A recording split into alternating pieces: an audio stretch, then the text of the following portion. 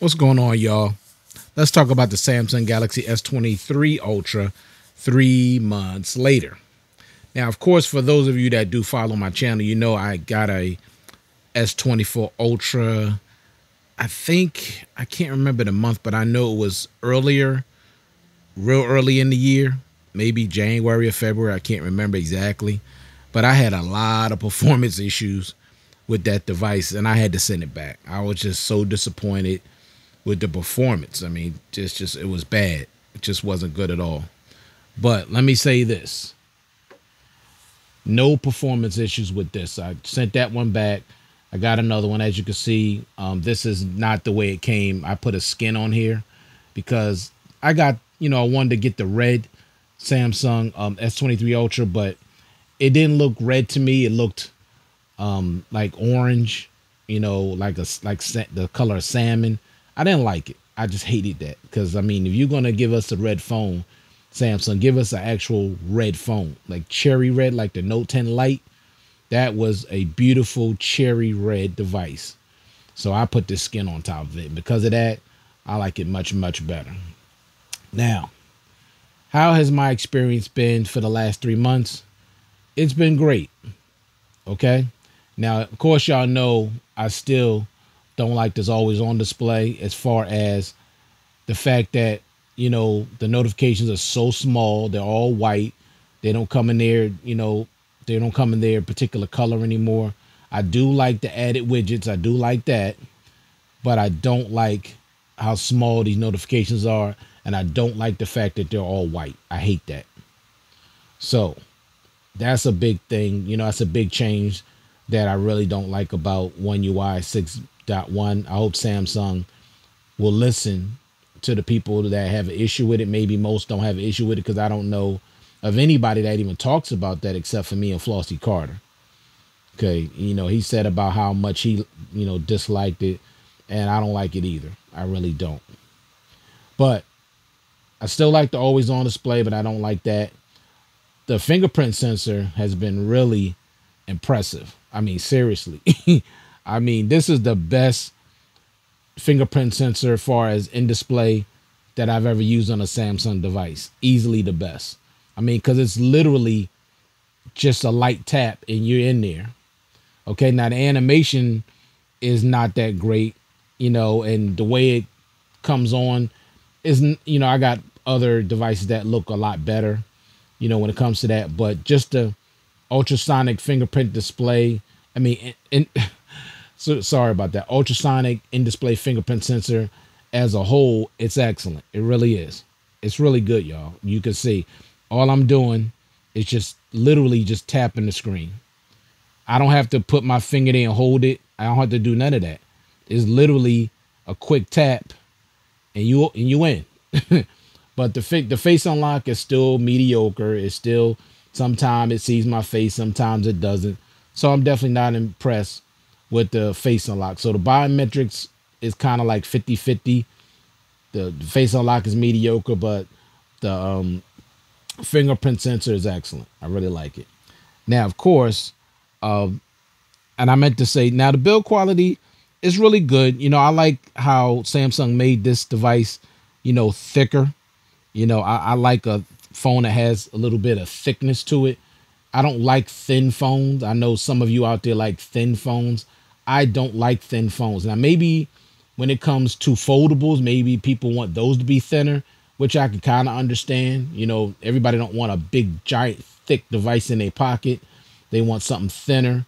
I understand it. But for a regular slab phone, I don't want a super thin device. I want the phone to have some thickness to it. And this has some nice thickness to it, and I like that. Now, it's not the most comfortable device to hold in my hand without a case. That's why I always use cases because the corners are really not rounded off. They're just not, and they could stab you, you know, in my, they could stab me in my palm, and I don't like that. Okay. But the build quality overall is great. Now, when it comes to build quality, honestly, I would say when it comes to the display, I absolutely have no scratches. Now I just got a, one little ding up here in the corner. You you probably can barely even see it unless you're in direct sunlight. That's the only time I really see it. but no micro scratches. It, it's just weird because when I had the other S23 that I sent back, that thing had micro scratches all over the place. But this one has zero micro scratches, no blemishes whatsoever, except the little nick I have up here because I dropped I dropped my device on cement a few weeks ago. So I got just a little ding.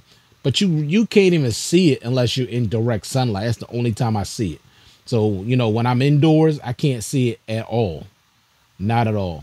So overall build quality on this device is excellent and I love it. Now, of course, the design is nice. You know, it's not flashy. It's kind of laid back, kind of like that business type of look.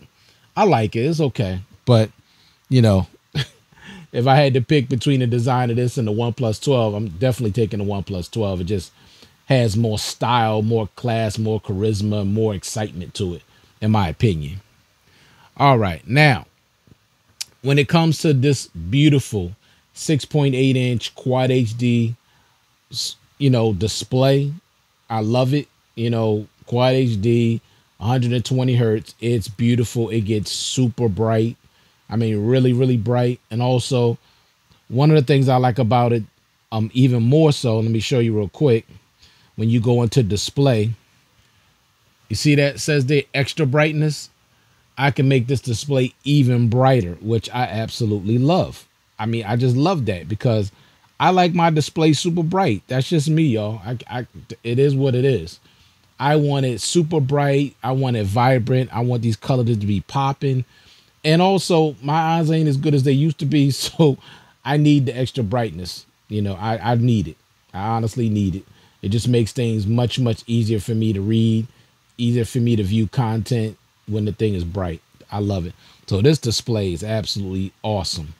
Now, when it comes to performance, the performance overall has been great on this device but it's not as responsive when I'm touching things as my OnePlus 12 and my Mi 11 Ultra and my Vivo X Note.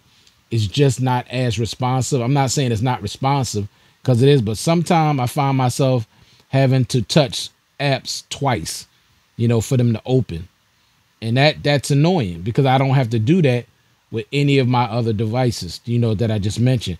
But as you can see here, see, sometimes I have to touch stuff twice. As I just wish it was a little more responsive, but it is fast.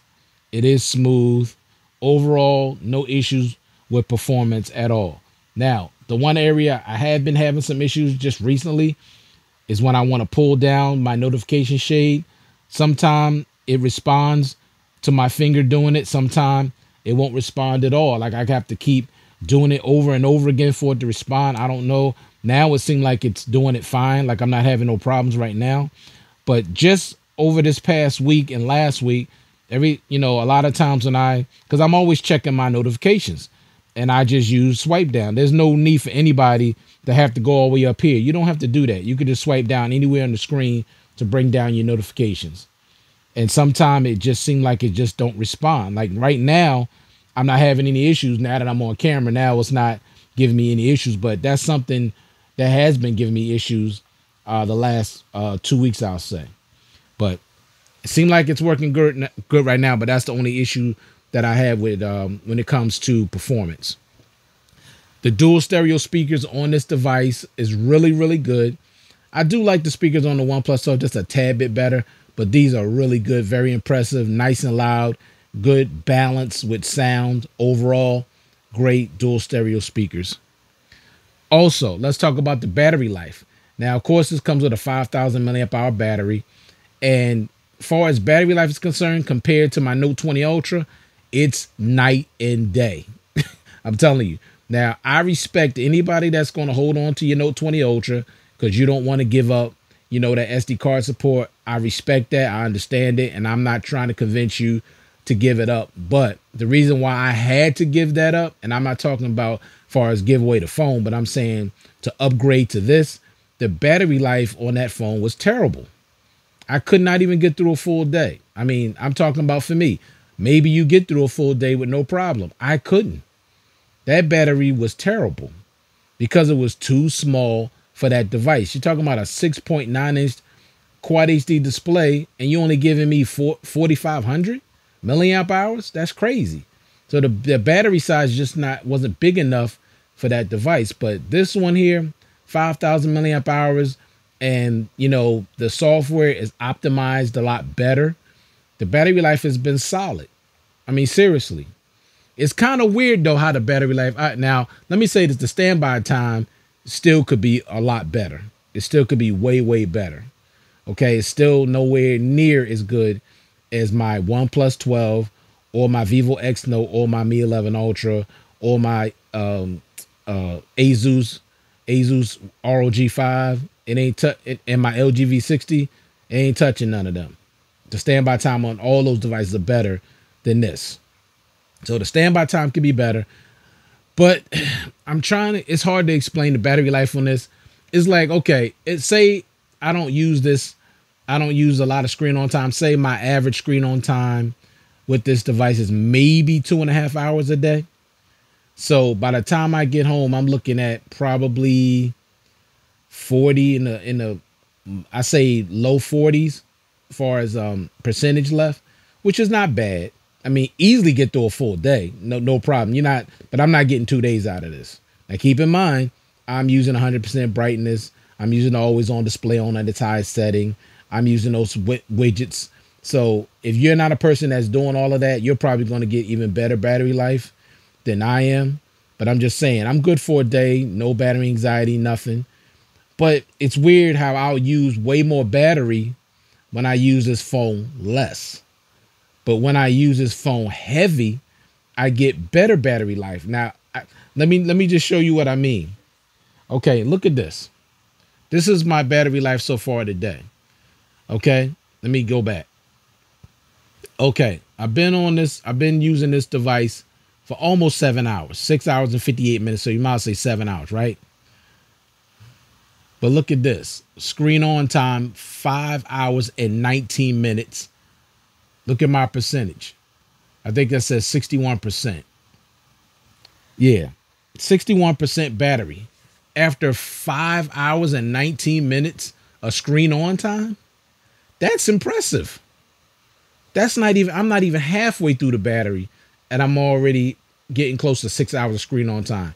Now, let me just say, I was using when I was um, when I decided to you know cook breakfast this morning for me and my wife. I was downstairs and I, you know, I always play, you know, my Star Trek stuff when I'm cooking. That's just that's just what I do. I'm a Trekkie, okay?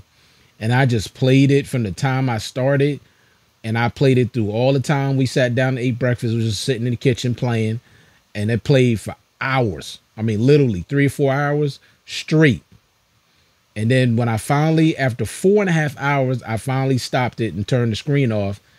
I had like 75% battery left at four hours and four and a half hours of screen on time. So it seems like when I use this phone really, really heavy, the battery life really just it just sips battery.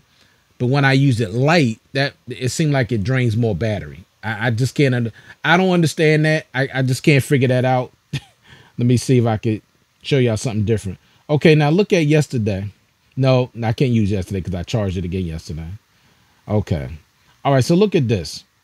So this was uh Thursday. No, no, Wednesday. See that screen on time? Three hours and eight minutes. And that's after 80. That's that's how much I had left. 81% left. So that's about almost about 30 something percent. But that's only after three hours and eight minutes of screen on time. And that was after like um let me see. See i can't go back to the date on this on this one here only on the next one. But i mean that was after an 18 hour uh, workday or 17 hour workday. But i mean it's crazy. It's crazy using that much battery with only that little bit of screen on time. But you see today i used the phone considerably more, but I'm I'm getting better battery life. Okay, five almost five and a half hours of screen on time, and only and I still got 61% battery life left. And and keep in mind that's a hundred percent brightness. If you don't believe me, look, a hundred percent brightness. Now I have been turning the extra brightness off because usually I was using that extra brightness for like three weeks because I just love my device to be super bright and vivid. But I noticed I was getting less battery life, which of course makes sense. But I turned that off and I do definitely get better battery life with the extra brightness off. Now I know I can just I can still use the extra brightness all day, every day, and still get through a full day with no problem. But of course, I'm getting better battery life with it off. But that's weird. It seemed like this thing uh, preserves the battery better uses less battery when you push it really, really hard than when you're just using it light to moderate. But I'm impressed. Definitely impressed. All right. Now, of course, when it comes to the cameras, I'm definitely, definitely impressed with these cameras. These cameras are great. Just check out my full review on this device. Check out the camera quality and the video quality. It's great. Okay. These are these are these are way up there when it comes to cameras. They they they they up there at the top. Okay, with the OnePlus 12, with my Mi 11 Ultra, my Vivo X Note, they right up there with all of them. These cameras are great. Zero issues with the cameras on the S23 Ultra. So if you're thinking about getting this device and you're worrying about camera quality, you ain't got to worry about it at all. Excellent camera quality. Okay. So three months later with the S23 Ultra, I've been satisfied, honestly. I just think the standby time could be better. Okay. But other than that, oh, and of course, I wish Samsung would get back to the old, uh, you know, always on display. I just hate the always on display as far as how small these notifications are and that they're all white. I just hate it.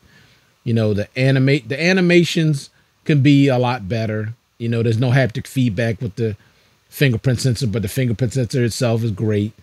You know, getting really good battery life, great performance, great display, great cameras. You know, you're going to get Android 18 security updates for a while, you know, probably another three years. This is a great device, honestly. So if you're considering this device, look, I highly recommend the S23 Ultra. Just like I highly recommend the OnePlus 12, I highly recommend the S23 Ultra. It's a beast. It's a great device, and I would easily take this over the Note 20 Ultra. Easily. I think the only thing that the, the Note 20 Ultra I miss of course, the expandable storage, and I love. I think I like the design of the um, Note 20 Ultra better. I do like the design better, but I like the you know the build of this, the thickness of this, the weight of this, the display, the camera, everything else I like better on this. And I'm just keeping it 100. I just like everything else better on this. All right. So thank you all for taking the time to view this content. I do appreciate it. I hope everybody out there staying safe, staying well, and I'll check you guys out in the next one. Peace.